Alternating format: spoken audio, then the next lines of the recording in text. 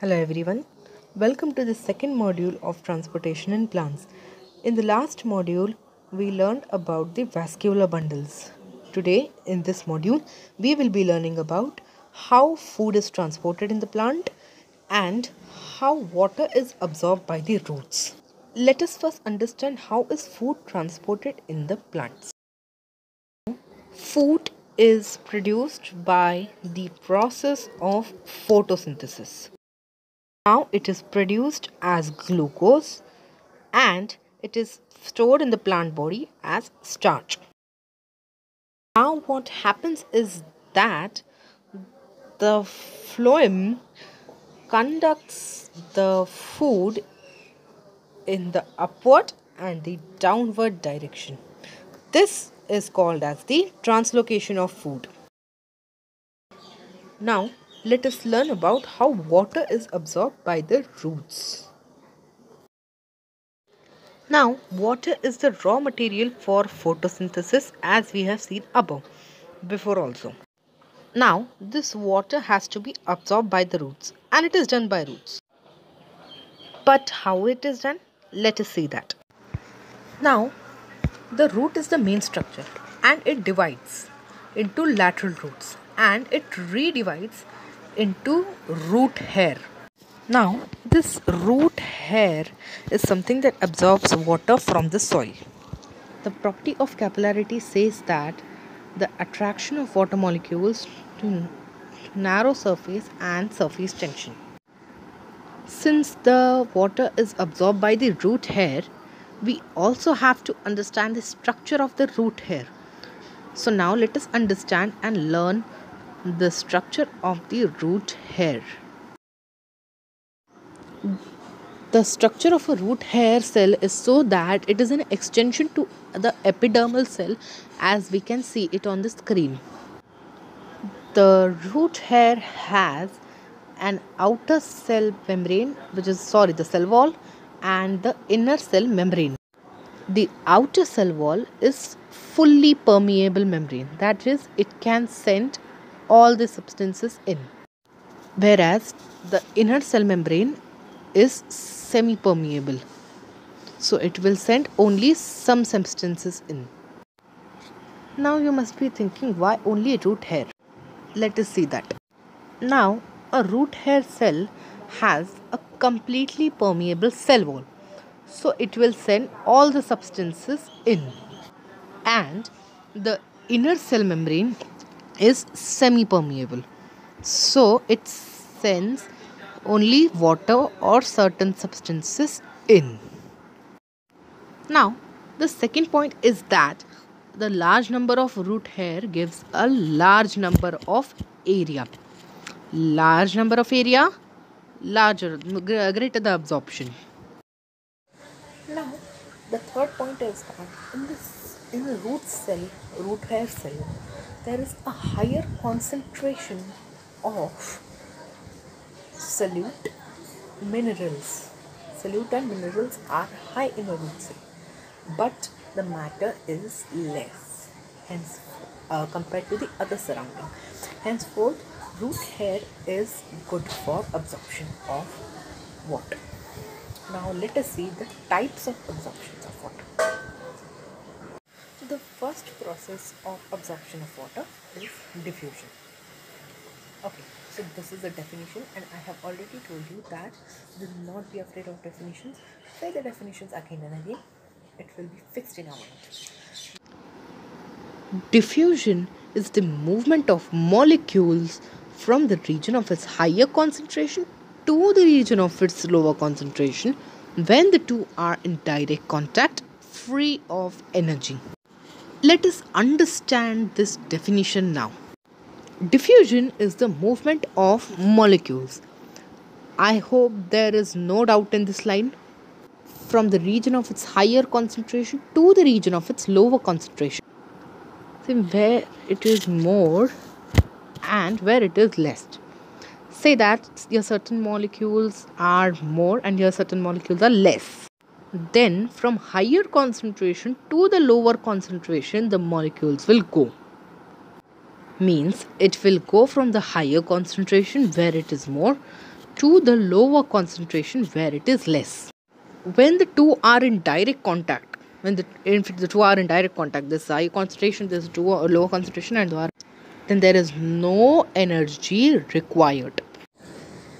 Let us take an example now.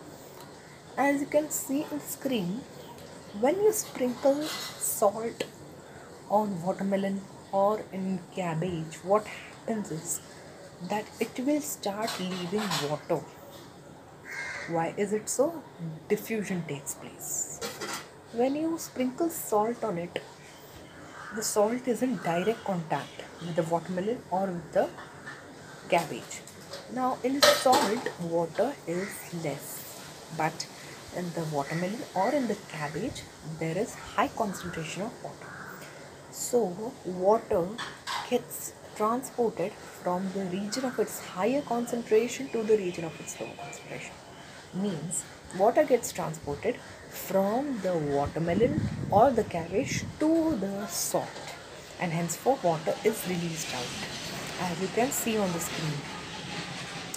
Now let us move to osmosis. Osmosis is the movement of water molecules from the region of its higher concentration to the region of its lower concentration through a semi-permeable membrane. This definition is similar to diffusion but there are certain things which are very important but different. Let us understand.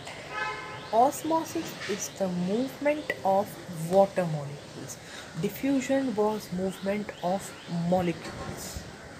But in osmosis definition, water molecules is important. Osmosis is the movement of water molecules from the region of its higher concentration to the region of its lower concentration. I hope there is no doubt in this because I have explained this uh, before also.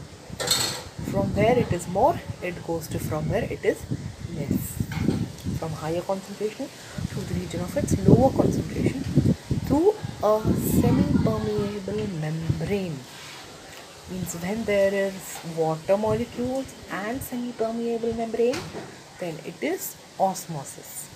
But when it is only molecules and direct contact then it is diffusion now there are two types of osmosis endosmosis and exosmosis. Now in endosmosis it is an inward movement of water. That is water will uh, the higher concentration of water is not in the cell but it is outside the cell and there is an inward movement. That is the water will come uh, uh, in the cell from out.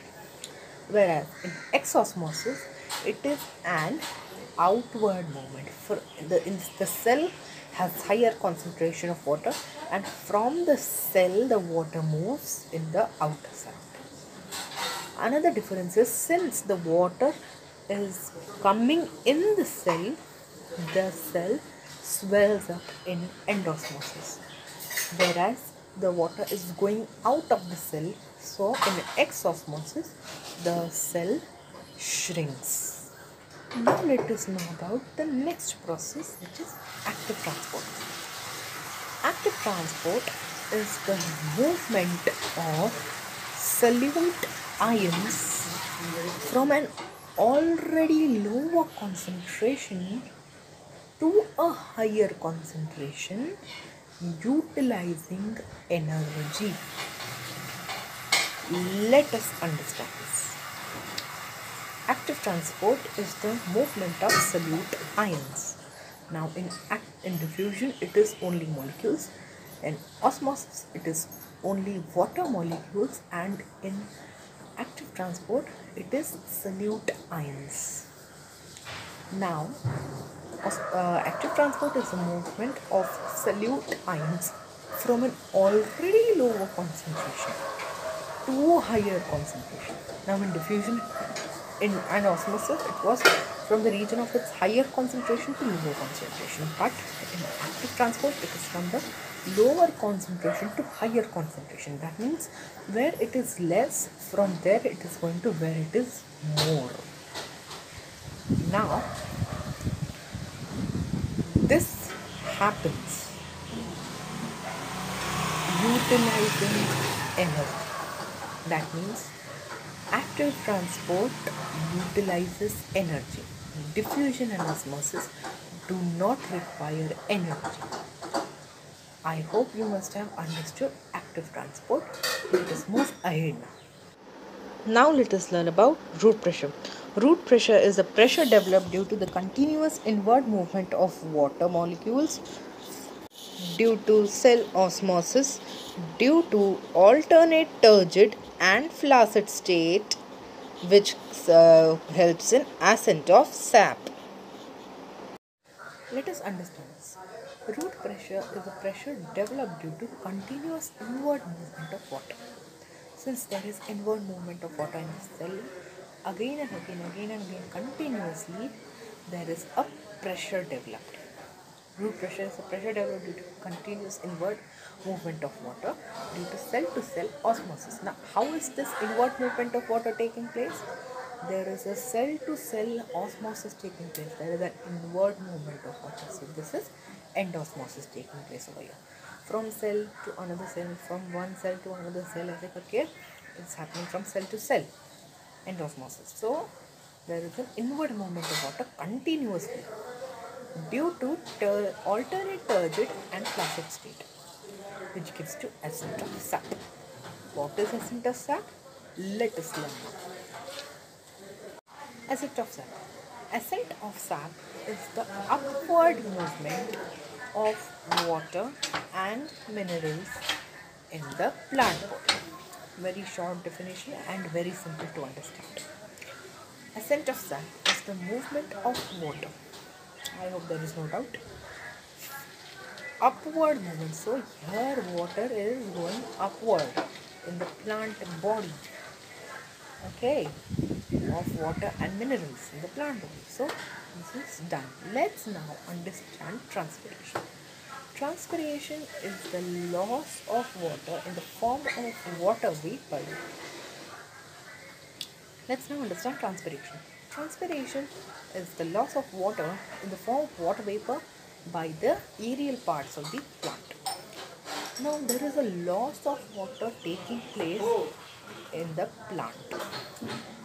How is it done? It is done in the form of water vapor. And this water vapor is gone out from the aerial parts of the plant. That is the stem and the and the leaves. Roots can't do transpiration. Now let us have an experiment to understand transpiration. You can take a plant and cover it with a bell jar or uh, a polythene or something like that and then give it water you will observe that there will be some moisture appearing on the bell jar or the polythene. Why is it so? Transpiration takes place in the form of water vapor. There is water vapor coming out and that is not escaping.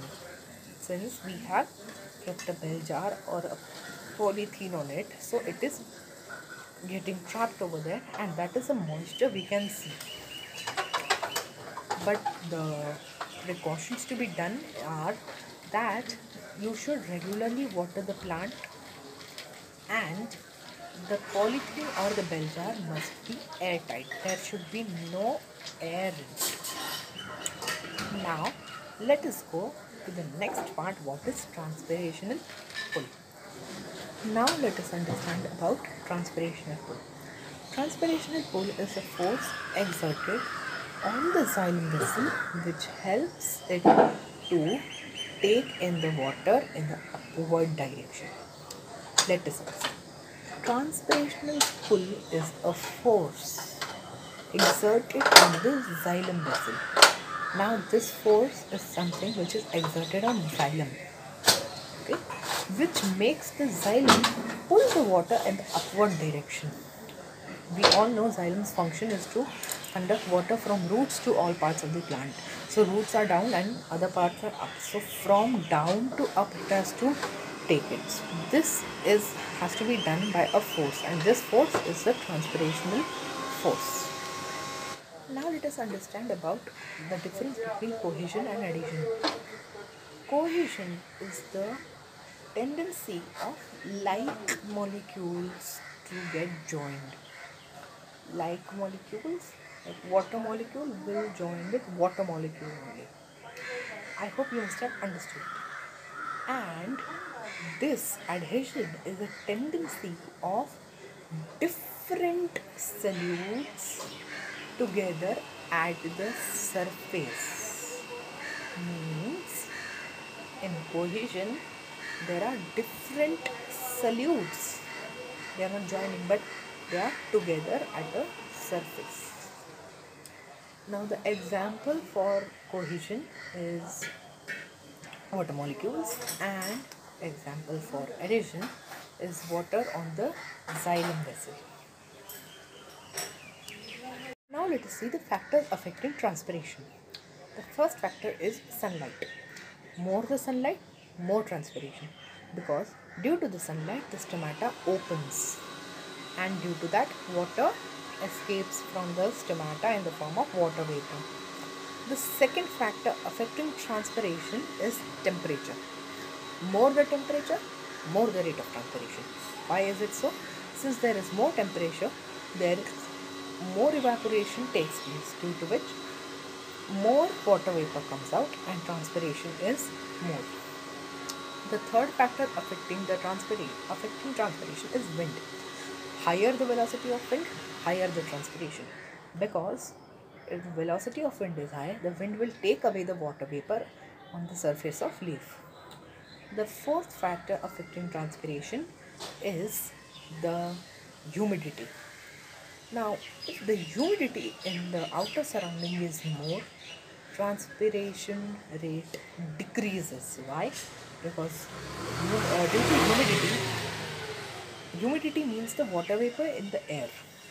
Now, since there is already water vapor in the air, more water vapor cannot go from the leaves to the outer surrounding. Henceforth, transpiration is less in this cases. know that transpiration takes place in the plant body. But what are the uses of it? Let us see. The first use of transpiration is that the cooling effect. The water which is transpired by the plants gets evaporated and hence it keeps the, the environment cool when it is hot. The second is that it maintains the concentration of sap. Now, when water is absorbed by the roots, it makes the sap dilute. So, to make it not dilute, the transpiration takes place. We all also know that water is absorbed by the roots. But what is the importance of water in the plant? Let us see. The first importance is the cooling effect. Again, the water which is transpired gets evaporated by itself. So it makes the environment of the plant cool. So this is the first one importance. The second importance is trans- uh, transportation. The water and the minerals are transported by the xylem. Due to the water, the minerals also in it are transported by the xylem and uh, xylem in the uh, whole plant and also in the leaves and henceforth the leaves can uh, produce their own food the second is the production of food in the plant the water which is in the plant it combines with the uh, carbon dioxide in the atmosphere to form their own food which is glucose this glucose is the food produced by the plant and gives the energy to the plant now, let us understand the importance of minerals in the plant. There is a lot of importance of minerals in the plants. There are certain nutrients which are important elements that are in the form of minerals in the plant, which help them grow neatly and properly and complete the uh, life cycle properly. Now, there are two types of minerals micronutrients microminerals and macrominerals. Now, in the macro ones, the these nutrients are needed in a large quantity. For example, nitrogen, potassium, phosphorus. Whereas these micronutrients are used in a small quantity, like magnesium. With this, we complete the chapter Transport in Plants. I hope you must have understood the chapter neatly. Thank you.